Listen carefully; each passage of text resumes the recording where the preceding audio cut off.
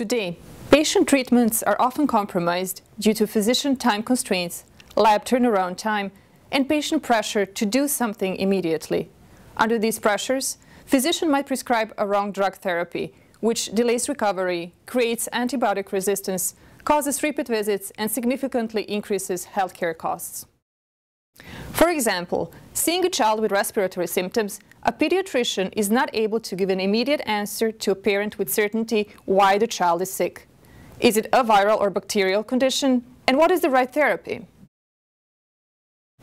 Hi, I'm Irena Barbulovic-Nad, co-founder and chief technical officer of Kapplex, a diagnostic startup with a mission to accurately and rapidly diagnose multiple infectious diseases in the doctor's office at the first patient's visit right then and there. Our solution is the Kapplex Right Now platform that will allow physicians to test and diagnose patients with a gold standard accuracy in less than 20 minutes on a small, inexpensive consumable cartridge powered by an inexpensive instrument. It is a fully automated system, easy to use, and does not require special training. The core technology is a unique liquid handling technique, paper-printed digital microfluidics.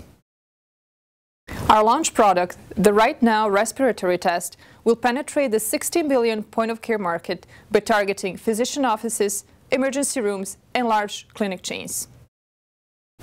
We're seeking an investment to execute our product development plan and deliver field test units to our customers and partners. Join our team on the mission to enable doctors to help their patients at the point of need.